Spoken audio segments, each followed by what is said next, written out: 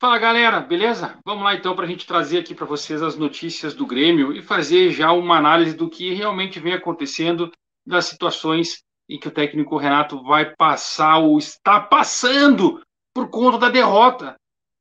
Derrota? É, uma derrota que foi em Londrina, porque aquele empate foi considerado derrota, sim, pelo grupo de jogadores, por todos os jogadores, comissão técnica, inclusive o presidente, que tentou dar uma amenizada, em que sentiu um gostinho de derrota, mas um empate era um bom resultado. O Renato falou na coletiva. Enfim, tudo isso a gente já sabe e sabe exatamente que isso é para tentar mobilizar ou não desmobilizar o grupo de jogadores e a própria torcida. O fato é que a torcida já não aguenta mais o que está acontecendo. O Grêmio já era para ter subido há muito tempo. Faltam quatro rodadas e o Grêmio não conseguiu matematicamente subir se falava que o Grêmio ia subir com o pé nas costas, que as coisas iam ser fáceis, a projeção de fazer aqueles, vou lembrar, hein, fazer aqueles é, 11 pontos, né, que o Grêmio precisava fazer a cada seis jogos, era isso? Nos blocos de seis? Pois é, faltam dois jogos para acabar e o Grêmio não conseguiu bater os 66 pontos. O Grêmio está devendo ponto. Será que o Grêmio vai conseguir esses 66 pontos nas últimas, nas próximas duas rodadas para atingir o objetivo? Não vai conseguir. Não tem como. E eu não estou sendo pessimista. Estou, estou sendo realista com o que está sendo apresentado. Tanto é que, vocês terem uma ideia, que depois que terminou o jogo do Grêmio contra o Londrina, no, no, no, no primeiro dia de apresentação, o Grêmio, o Renato montou o time reserva para jogar contra o grupo de transição que estava se preparando para jogar contra um jogo nessa quarta-feira. E nisso, o time reserva do Grêmio ainda colocou quatro jogadores na transição, conseguiu perder para o grupo de transição por 4 a 0. 4 a 0. Sabe quem fez os gols? Emerson. O Emerson, que também chegou a ser contestado pela torcida, que não era tudo isso. E Vini Paulista, que também é contestado, e eu sou um dos poucos aqui que ainda digo que Vini Paulista é sim um jogador diferenciado, ele tem uma visão diferente de jogo. Ele atua diferente naquele, naquele campo, naquele setor do campo, do meio para frente. E o Grêmio não sabe aproveitar ele, não consegue encaixar ele no time profissional. O Grêmio tomou dois gols, o profissional tomou dois gols. O principal, o reserva do principal tomou dois gols do grupo de transição. Isso é uma vergonha, uma vergonha porque foi feito. É vexame, vergonha do que foi feito. Montaram um time horroroso que a transição está dando pau no time. Pois é. E aí vem o dia de hoje, o técnico Renato resolve chamar todo o grupo, faz lá, gesticula e tal, falando que chamou, que deu uma mijada, né? Aparentemente estaria dando uma mijada em todos os jogadores pela atuação contra o Londrina, até pelos reservas que perderam por transição, querendo objetividade, enfim, e tudo aquilo que foi está sendo noticiado que o Grêmio que o Renato teria mijado todo o time do Grêmio. Mas eu não consigo acreditar que isso seja verdade. Eu acho que ali o Renato está criando um, um caso para a imprensa ficar preocupada com o que ele está falando, que ele teria chamado a atenção dos jogadores e algo que ele está trabalhando naturalmente. Ele apenas gesticulou. Né? A gente gosta de lembrar aqui vários casos de jogadores que, numa partida, ia discutir com, com o árbitro e é, conversar com o árbitro, ou estava tomando a mijada do árbitro e gesticulava, mexia braço e tal, isso e aquilo, e dizia sim, senhor, o senhor está correto, é isso mesmo e tal, eu tenho certeza. E era isso. E, na verdade, ele só estava acertando, né, confirmando ou dando ok para o árbitro que tudo estava falando, mas era para que a torcida entender que o jogador também estava discutindo com o árbitro, e enfim. É, eu acho que o Renato fez isso, essa é a minha visão porque o Renato não vai simplesmente chutar, ele já deu uma pancada nos caras na, na, na outra derrota contra o Sampaio Correr, ele não vai fazer isso de novo, ele vai trabalhar isso para as coisas funcionarem ao natural, ao natural. E aí no treino de hoje ele fez uma mudança.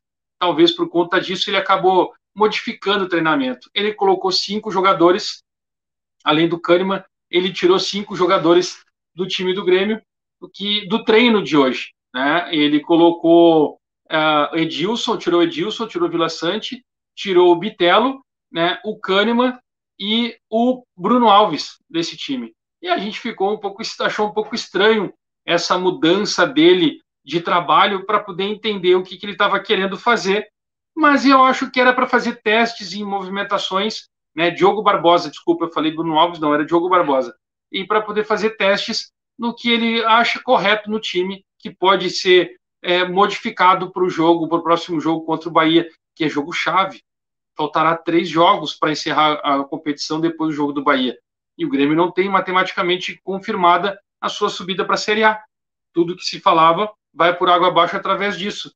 Então, existe uma, uma modificação aí, uma ideia do que ele poderia estar trabalhando para esse jogo, ou seria apenas poupar os jogadores? Não, não foi poupar, porque ele botou os caras no time reserva nesse jogo, nesse coletivo que eles fizeram entre o, uh, o time reserva como titular. Ele colocou Edilson, Diogo Barbosa, Vila Sante e Bitelo.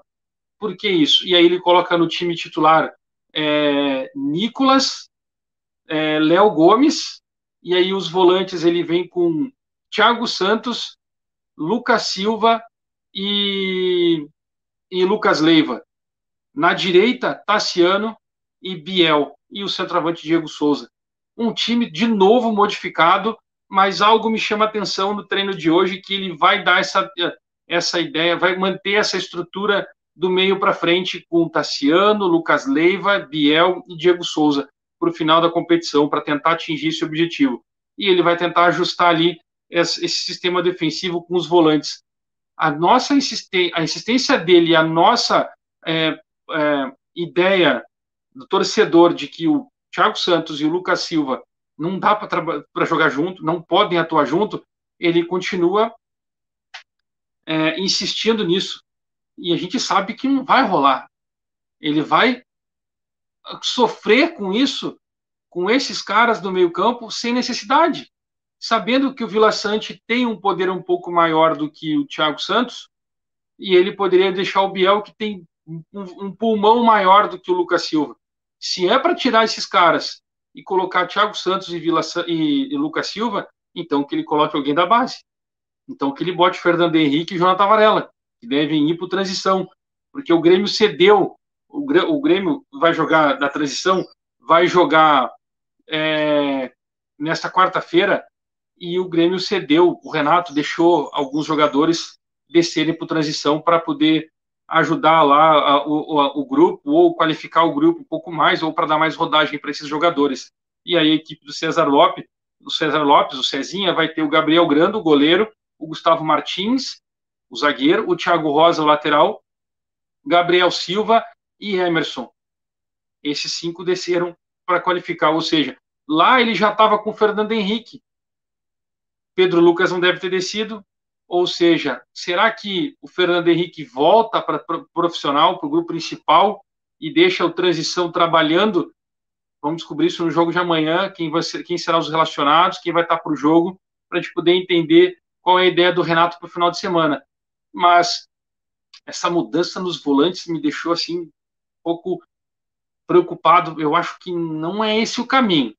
E aí isso confirma que o que ele fez de gesticular e fazer todo aquele teatro e tal, que ele estaria discutindo, dando uma mijada, chamando a atenção dos jogadores, para mim, tudo isso é só teatro mesmo. Não mudou nada mais do que isso.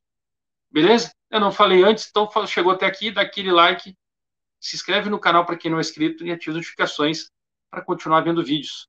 Não esqueça, né? Hoje, 21h30, tem é, entrevista com Odorico Roman, presidente, candidato a presidente do Grêmio, para próximo triânio. Acompanhe lá. Eu volto. E é Grêmio.